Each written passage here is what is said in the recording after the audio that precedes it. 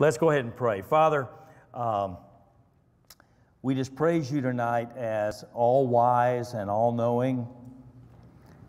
We praise you, Father, because your plan and your purposes always prevail. And Father, we praise Jesus as our perfect, sinless substitute.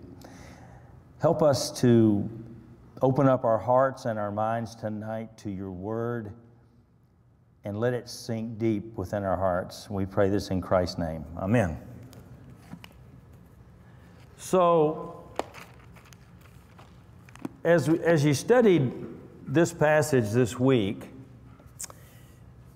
did, did you reflect maybe upon a time when you were unfairly uh, or unjustly accused of something? It might have crossed your mind, right? Uh, I know I've had those kind of situations in my life before, and but you know, as believers, as believers, as Christ followers, we are unjustly accused every day by the unbelieving world, by the media, and even those who claim to be our brothers and sisters in Christ. And it can be a painful thing to endure, especially if the accusation has come from someone that you know and you love and you thought you could trust. Maybe that's happened to you. Well, how does a Christian, how do we respond in a situation like that, right? How did you respond? As you and I go through suffering, uh, do we remember, remember Christ is our standard? Is, he's our standard. Jesus shows us that I and you can be in the will of God. We can be totally obedient to Him and yet still endure unjust suffering for His sake. In God's sovereign plan of redemption, Jesus, our King, willingly, willingly offered himself as a sacrifice for sinners. And like Jesus, at some point, we will be unjustly or unfairly judged or accused or ridiculed just because we have an association with Jesus, right? And devotion to Jesus. Um, and so, if this hasn't happened to you, don't be surprised when it happens. Uh, we must understand that's what it means to be a follower of Christ. And I think Oswald Chambers, I like Oswald Chambers' uh, writings, he kind of nails it. He says, if we believe in God's sovereignty, then we must believe God has allowed these attacks and unfair accusations. And what we must understand is that God's plans for each one of us, for this world, serve a higher purpose and will not be thwarted. Just as these false accusations and terrible injustice came against our innocent, uh, sinless Savior, Jesus, so they will come against his people. And God knew what he was doing. That's, that's the thing that uh, I think uh, you really take from this lesson is that God knew what He was doing then, and He knows what He is doing in your life, in your life today, and in the world. So, my aim tonight, the main truth that I want you to walk away with, is God's sovereign plans prevail over all opposition and determine all outcomes. We must believe this, men. God's sovereign plans prevail over all opposition and determine all outcomes. So I've got three divisions tonight. So let's get into the first division Matthew 26, 47 through 56, where Jesus is betrayed by Judas and arrested. We pick up from last week where Jesus remember, was submitting to his Father's will and his plan to go to the cross, and he's been strengthened. He, has just, uh, he had just awakened his disciples when Judas appears leading a large crowd. That's about 1 a.m. in the morning, okay? Think about that. About 1 a.m. in the morning. John reveals the most uh, details of the circumstances surrounding Jesus' arrest, but here we're told of Judas's betray, betraying kiss. We're also told of Peter's attempt at preventing the arrest, striking the uh, high priest servant's uh, ear, and Jesus' comment to Peter and the words to those arresting Jesus. So let's read in uh, 47 or 47 through 50. 47 through 50.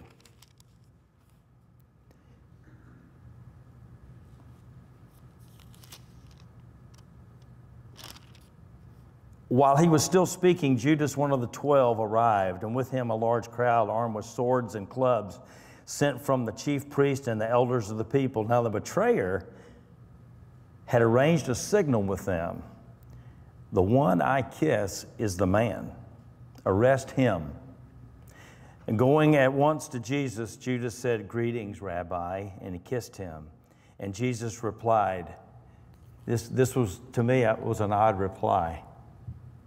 Friend, friend. Really? Friend, do what you came for. Do what you came for. Then the men stepped forward and seized Jesus and arrested him. Judas, listen, guys, Judas knew the place where they often met, and this betrayal money was likely for the information about Jesus' movements. The religious leaders, you gotta, you gotta remember, the religious leaders wanted to secretly arrest Jesus to avoid the resistance uh, of the crowds, right? A night arrest in an isolated location really served their purposes. And, and they brought these, all these uh, soldiers with them, right? Armed, armed to the hilt. Judas, Judas's kiss, the kiss on either the hand or the cheek, was usually an act of homage and a common gesture of greeting and reverence given to our rabbi by his disciples.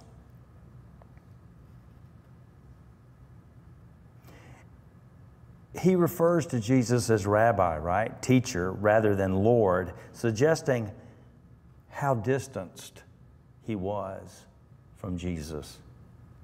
Judas may have felt that his idea of political and material advantages weren't going to happen so that he would only have, that Jesus would only have to experience suffering, but maybe not death. To say Judas is one of the 12, I think really highlights how awful this crime was. Now, focus on verse 50. Friend, do what you came for. Jesus still loved Judas he still loved Judas. And he gives him an out, really. He really wanted him to confess his sin that he was condemning an innocent man and repent. Judas still had that guilt, and he didn't go back to Jesus. Jesus steps up to face an angry mob, ready to move on with God's plan. He stands up for his disciples Take me, let, but let them go. This fulfillment, not by compulsion or weakness, that he surrendered, right? And I think what's clear here, think about what's clear here. Jesus, God, is in control of the situation, right? He's in the driver's seat, not the mob. Jesus was not and I'm going to repeat this Jesus was not a helpless victim of circumstances. He was composed and confident in the will of God, his Father. He was committed to his mission. And God had always, he has, he had and he always has a sovereign plan and purpose for Jesus to be the substitute for all sinners, to die on our behalf of our sins so that, so that he could save us. That was his plan. Jesus would die the death that we deserve. those ready to seize Jesus in other, uh, uh, other uh, gospels, they draw back and they fall to the ground just the sound of Jesus' words when he says, I am he. So all who are in the presence of the king should fall on their knees as well. Jesus intervened then, and he continues to intervene on our behalf. Now, the Apostle John, if you go to the, the book of John, tells us that it was impulsive Peter, type A personality, who steps out and in a well meaning yet self willed action cuts off the right ear of uh, Malchus, the high priest's servant's ear. Did you stop to think about and consider Peter's state of mind? You know, first of all, he had a lot more sleep than Jesus, right? all right. He fell they fell asleep three times, and Jesus was in agony about what was going to take place. But he was in a, he seems to be the type of person whose heart is in the right place, but his understanding was lacking. But he was prayerless, right? Prayerless against temptation, and he took matters into his own hands. He let the pride and fear take hold, and eventually he was led to denial of Jesus. But I want to say that God knew that this would happen. Okay, God knew that it would happen. So Peter's state, I think, reveals the steps that you and I fall into, and then we may that may lead us into sin as well. Failure to believe, lack of prayer, disobedience, fear, and denial that we are weak as human beings, right? We're weak. Peter's behavior, I think, illustrates how twisted our morals can become, how fickle we can be. And Christians are capable Think about it. Christians are capable of very diverse and contrary morals. I mean, just, I'm just being honest, right? If you don't believe this, then you're fooling yourself, denying the truth about who we are as human beings, right? With one's heart and mind, uh, when one's heart and mind are separated, there's going to be problems. And we do know that Peter, who truly loved Jesus, later not only realized and acknowledged his sin, one that was not premeditated but circumstantial. We know he chose to repent, and his later attitudes and his actions proved that Peter had true faith and trusted in Christ. So let's get back to, to the uh, servant's ear. let's get back to that part of the story. Jesus reveals his majesty here, doesn't he? By touching his ear and he heals it.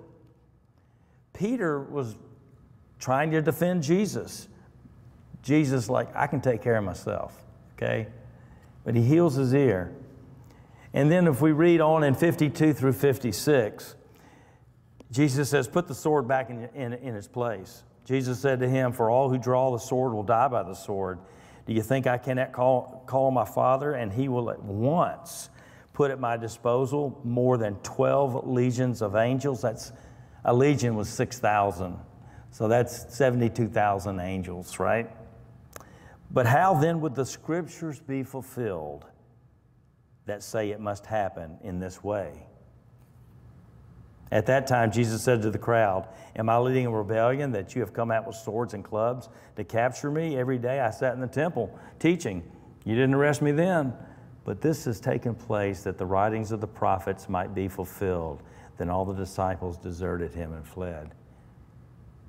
After him saying all that, they, they, they flee.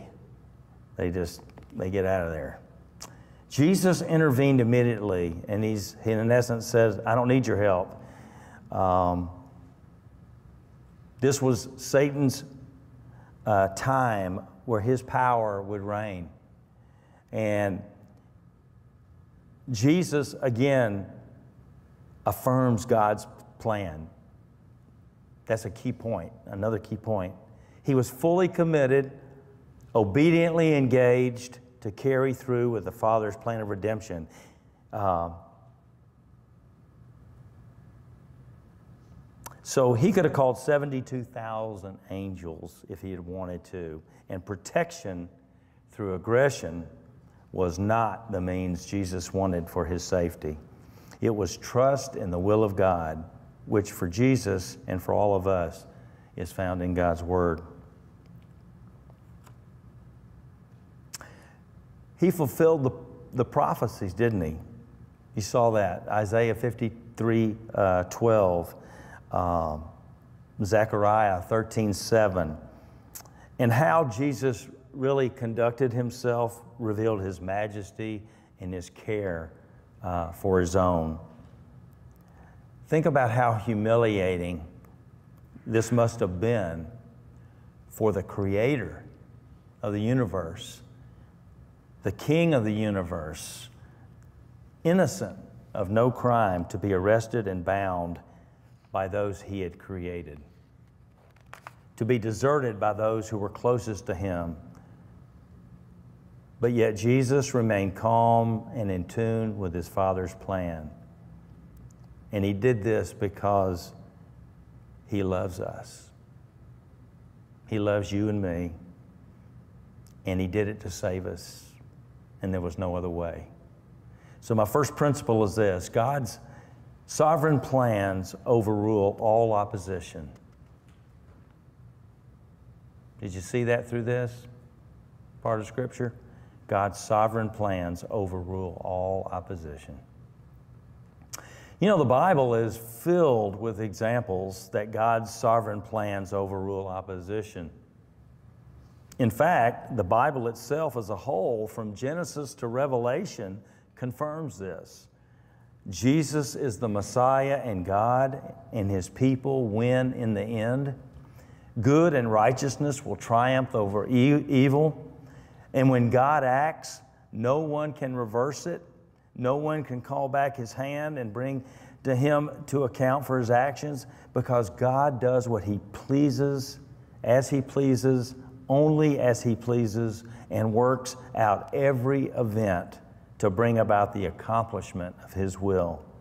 From the first moment of human history, even to the end, God's will will be done. I think such a unqualified statement, bold statement like that of the sovereignty of God would terrify us if, if that were all we knew about God. But God is not only sovereign, He's perfect in love and infinite wisdom, and He knows and does what is best.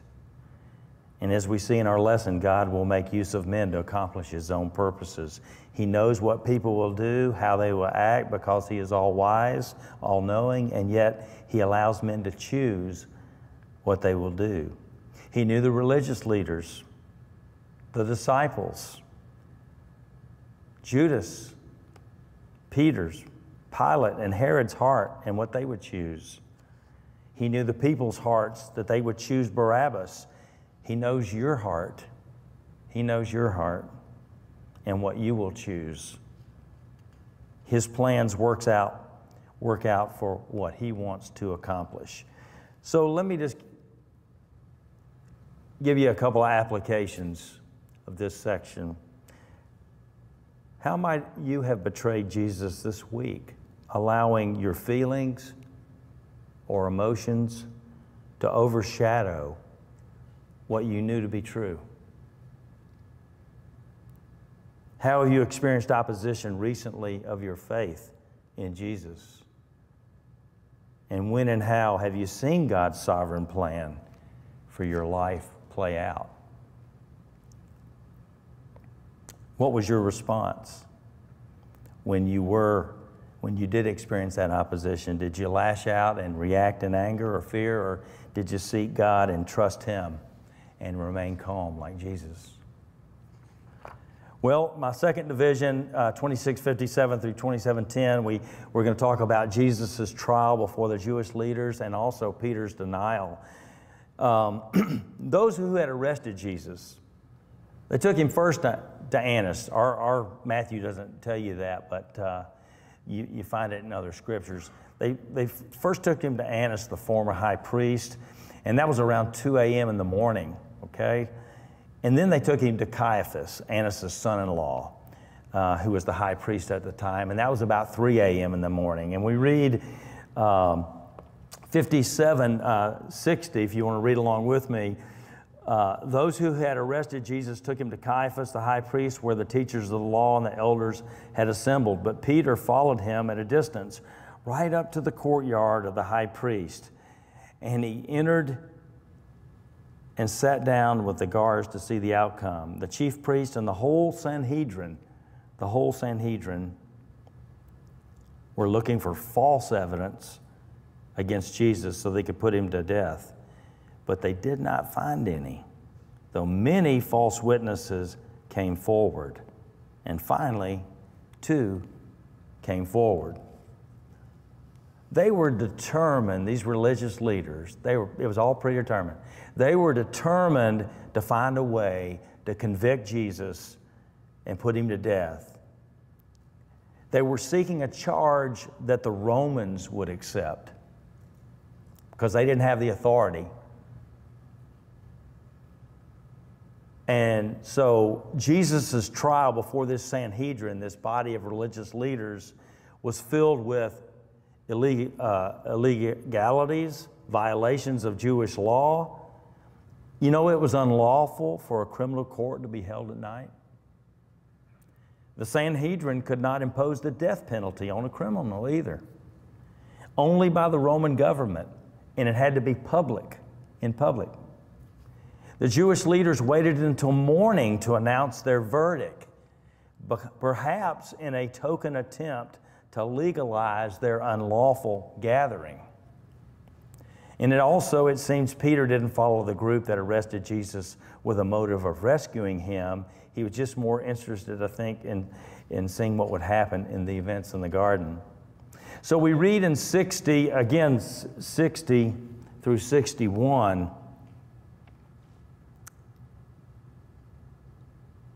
that finally two came forward and declared, This fellow said, I'm able to destroy the temple of God and rebuild it in three days. So they needed to find a charge, a chargeable offense that would merit death. But they could only find false evidence, only confusion, and a lesser charge that Jesus spoke against the temple. You know, Mosaic law, Mosaic law required two, two confirming credible witnesses. But they twisted Jesus' words, didn't they? They took them out of context to make it a capital offense. If you read in the Gospel of John 2:19, John records that Jesus actually said, "Destroy this temple and I will raise it up again in three days. He didn't say he was going to destroy it. He said, Destroy this temple, and I will raise it again in three days. He never said that he would destroy the temple himself. So, what was Jesus talking about here? He was talking about his, his body, not the building, not the temple, right? To be sure, Jesus is our true temple. But ironically, the religious leaders were about to destroy Jesus' body as he had said, and three days later, he would rise from the dead. We read in 62 to 64 the high priest stood up and said to Jesus, Are you not going to answer? What is the test, this testimony that these men are bringing against you? But Jesus remained silent. The high priest said to him again, I charge you under oath by the living God. Tell us if you are the Christ, the Son of God. Yes, it is as you say, Jesus replied. But I say to all of you, in the future, you, you will see the Son of Man sitting at the right hand of the Mighty One and coming on the clouds of heaven. Jesus agreed with Caiaphas in the form of a restatement of his question without a direct answer more of a recognition of the question than a clear reply. And in doing so, I think Jesus clearly acknowledged that he was the Messiah, the unique Son of God. Well, they took it as blasphemy, right? They took it as blasphemy. And Caiaphas took Jesus' reply as a confession of guilt, and he tore his robes as a sign of disgust which was actually a violation of, of Mosaic code for a high priest, also found in Leviticus. A lot of uh, inconsistencies here. So, Jesus, uh, at 5 a.m., they confirm that he's, he's uh, this capital sentence, blasphemy. And again, let me repeat this Jewish law prohibited the Sanhedrin meeting before daybreak in violation, total disregard. In fact, all cr- criminal cases had to be tried and completed during the daytime, not the night. And no cases were supposed to be heard during the Passover season, especially on the eve of the feast day. So the witnesses were interrogated according to the law. Blasphemy could only be charged for taking God's name in vain, which Jesus never did. And they physically start to physically abuse Jesus. And in a symbolic fashion, they blindfold him and uh, strike him with his fist, with their fist, and ask, you know, who was that that struck you? denying his claim to be a prophet. They spit in his face, denial of his authority.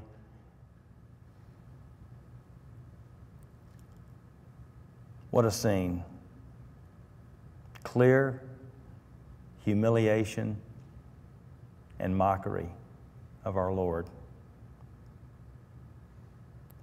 And I think a lesson that we can learn here as, a, as an aside lesson is that God's sovereign plans uphold his perfect justice despite human injustice. So, what's become of Peter and of Judas? We read in 6970, Peter was sitting in the courtyard. servant girl came up to him. You also were with Jesus, she said, but he denied it before them. I don't know what you're talking about, he said. They went to the gateway. Another girl said, This fellow was with Jesus of Nazareth. He denied it again, this time with an oath. I don't know the man. After a while, those standing uh, there went up to Peter and said, Surely you are one of them, for your accent gives you away. And then he began to call down curses. You see how that progressed? Curses on himself, and he swore to them, I don't know this man. Immediately the rooster crowed, and then Peter remembered the word Jesus had spoken Before the rooster crows, you will disown me three times. And he went outside and wept bitterly.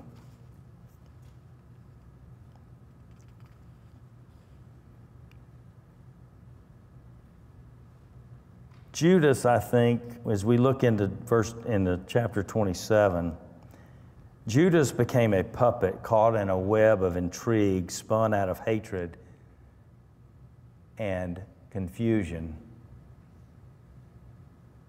He realized what he had done. The King James version, uh, King James version states, "Then Judas, which had betrayed him, when he saw that he was condemned, King James uses repented, repented himself. You know, remorse is often confused with repentance. Usually, a person who repents doesn't go out and hang himself. So, how are we to answer what happened here to Judas? I think the answer lies in the word repented. Repented. It's a different Greek word than the word most often used uh, meaning repent in the New Testament. Instead, this word is only used five times in the New Testament. And this word expresses, expresses sorrow, remorse, grief for a wrong committed, and pretty much like when you get caught, right?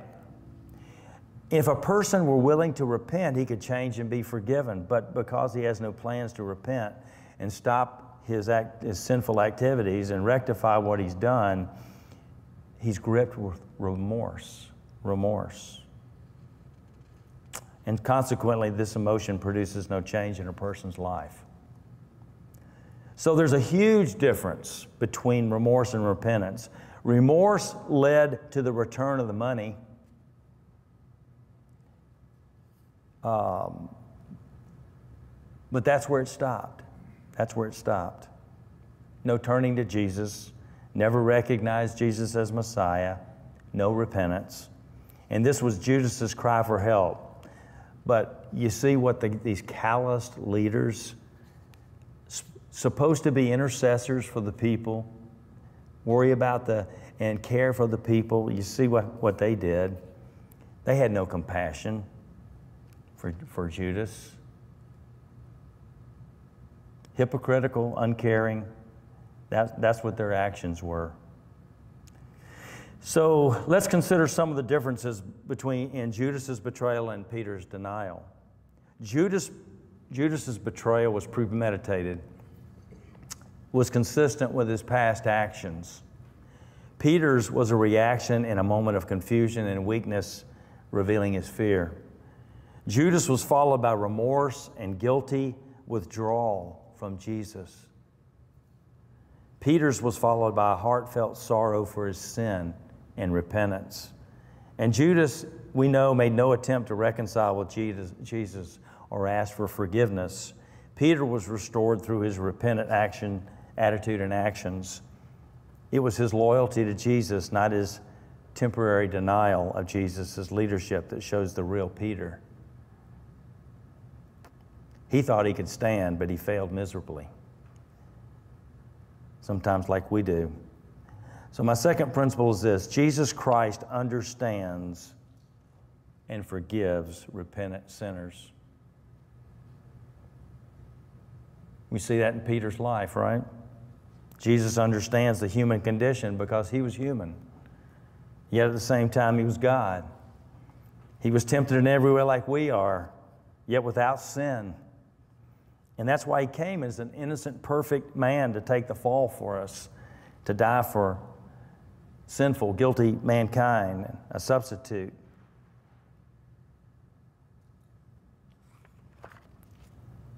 When you and I do wrong things, when we sin, sometimes those things aren't found out. Sometimes they are. And we, we suffer the consequences. And we're condemned by people, maybe even people uh, around us that say they love us and won't forgive us. Um, sometimes even you know, this world, even our brothers and sisters in Christ, won't, gener- you know, uh, won't generally let it slide. They can be unforgiving, even when we repent of that sin. But Jesus, on the other hand, promises to always understand and forgive us when we confess our sins with genuine sorrow and truly repent of our sins. If we confess our sins, 1 John 1 9, he is faithful and just and will forgive us of our sins and purify us from all unrighteousness. That's a promise, men, promise from Jesus. Not only will he forgive us, but he'll help us and to restore us through his spirit, to restore us. There should be nothing that we feel that we can never be forgiven for. Jesus will forgive you even of your darkest, deepest secret sin if you will but, will but choose to bring it to Him. Well, how do you see yourself? How do you see yourself in those who despised, mocked, and falsely accused Jesus? How have you possibly denied Jesus? When you recognize your sin, do you respond like Judas, only with remorse, or like Peter, with repentance? Last division, 27, 11 through 31. This, again, the Sanhedrin found Jesus guilty of a crime worthy of death in their eyes, but, uh, but not in the Romans' eyes. And it's interesting that in the Jews' death was by stoning, but a Roman death sentence would provide for, for Jesus the most humiliating death he could possibly suffer, which is crucifixion. Do you, do you see God's sovereign plan at work here again? Little did they know that their desire was again a fulfillment of prophecy. So they determined to put Jesus to death. They handed him to Pilate to get his approval. Pilate, uh, the governor or prefect since 26 AD, um, he agreed to the truth Pilate stated. Jesus agreed to the truth that Pilate stated, as, as did Caiaphas, about him being uh, the king of the Jews, the Son of Man, but no, made no reply to a single charge made by his accusers. And so the other Gospels accounts tell us that learning that Jesus was a Galilean and under Herod's jurisdiction, they sent him to Herod, who was in Jerusalem at the time, and then Herod sent him back to Pilate. and they found, none of them found any basis for the Jewish religious charges, nothing to deserve death. Pilate knew, he knew, as the scripture tells us, where the, the Jewish leaders' hearts were, right? And he had been warned uh, three different times. He chose to ignore, ignore that. Um, and so he, he asked for Barabbas' release and for Jesus' death. And we know that Jesus was handed over then. Uh, it, Pilate's decision came down about 6.30 in the morning, about 6.30 in the morning. Pilate didn't have to condemn Jesus. He knew what was just. But he yielded to the truth. He yielded to the Jews, to the crowd. And about 7 a.m., Pilate releases Barabbas he has Jesus whipped and then taken away. The scripture tells us to be crucified. And we see again God's sovereign plan required Jesus' sacrificial death, right? Out of Jesus' willing act of submission comes eternal life possible for all who believe. So, my last principle is God's sovereign plans required Jesus' sacrificial death. God's sovereign plans required Jesus' sacrificial death. You know, every person who rejects Jesus has to pay that penalty of sin. They're on their own. God's general revelation of Himself is seen as creation and the world around us. Um, his special revelation is seen in the person of Jesus and the truth of his word. Were Pilate and Herod and the Roman soldiers or the Jewish crowd innocent before God? No. God had given them more than enough opportunities to recognize who Jesus was, but they refused. They denied the evidence. And you know, man, what one does with the truth about God and about Jesus that determines your eternal destiny. He suffered for you and for me because we needed a substitute, a perfect, sinless substitute. And the good news, the good news of the gospel is that Jesus took your sin and my sin away upon himself on the cross. And he suffered. He suffered for Mike Toma. You know, he suffered for John Angel, Greg Jordan, right? Mike Baldwin. He suffered for us so that we could have life, and he paid the death penalty that we deserve.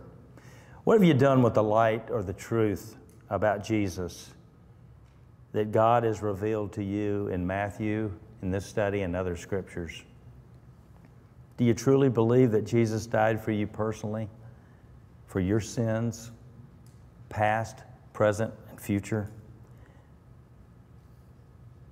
And how have you responsibly received this truth and embraced the person of Christ in your life?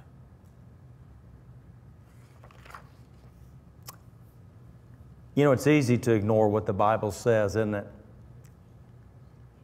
Even though the truth's right there. Because the world is always throwing the lie, the big lie, at us.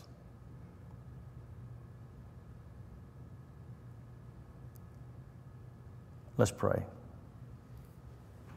Heavenly Father, we, we praise you as the only all wise God and Jesus as the unique Son of God, our Savior and Lord, the Lamb of God who was abused and broken and put to death for all sinners. And Lord, we acknowledge that we are weak in our own power, that we, even though we love, we love you we are capable of denying you.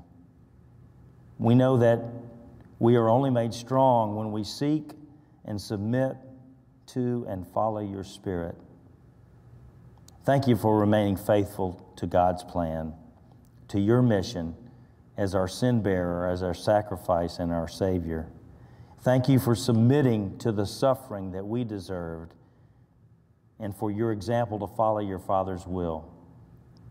May we boldly live our lives with consistency and conviction and in your wisdom as we submit to you, as we seek your guidance, and trust you in everything that we say and do. Lord, give us those spiritual eyes to see your plan for our lives. And we ask this in Christ's name. Amen.